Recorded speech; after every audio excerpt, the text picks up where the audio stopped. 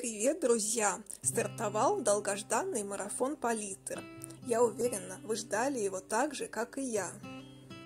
И сегодня я вам вместе со мной предлагаю нарисовать зимнюю композицию. И в этом мне помогут скетчбук от Max Goods и маркеры Vista Artista. Сейчас я вам покажу скетчбук, в нем 4 типа бумаги. Точно такой же скетчбук получит один из победителей марафона. Как видите, я свой скетчбук уже начала. Если вы посмотрите прошлое видео, то увидите, как я в нем рисовала вот такие облака, а также на черной бумаге необычными материалами. Если интересно, посмотрите предыдущее видео. Первый вид бумаги – это бумага плотностью 100 грамм на метр. Она предназначена для рисования маркерами, а также карандашами, пастелью, любыми немокрыми материалами. Следующий тип бумаги – это крафт бумага. Я ее еще не пробовала, но обязательно попробую. Плотность 80 грамм на метр. Также 12 листов.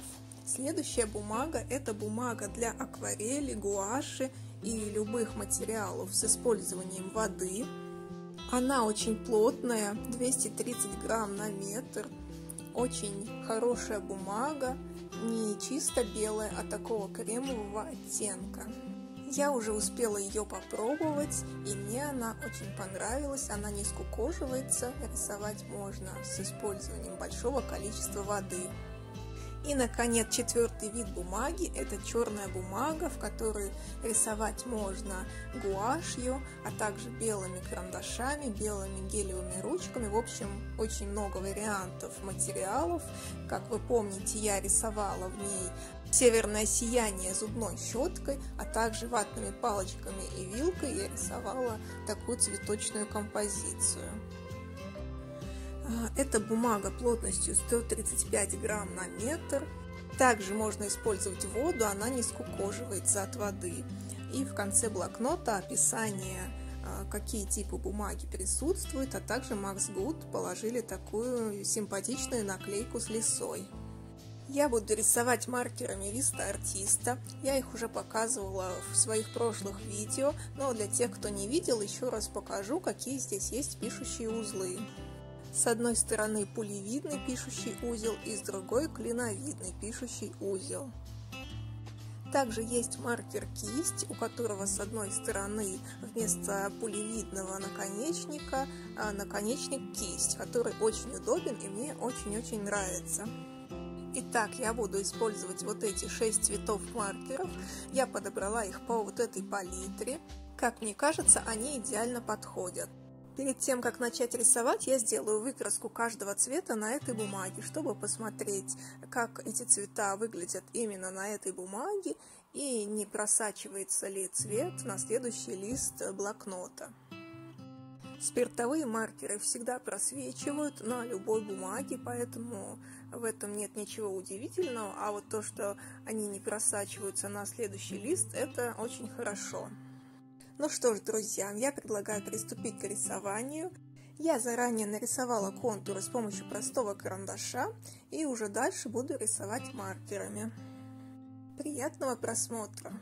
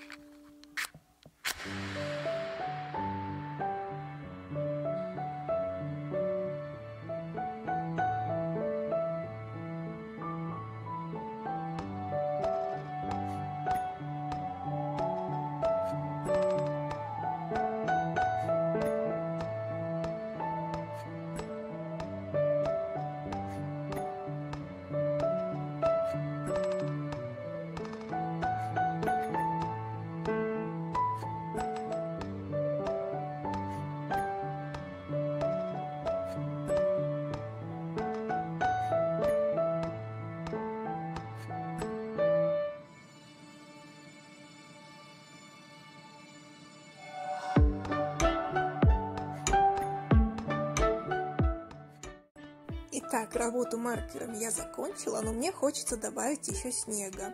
Я беру белую гуашь и сверху всеми вами знакомым методом уже добавляю снега. Получается такая зимняя, но в то же время уютная композиция с теплым фонариком.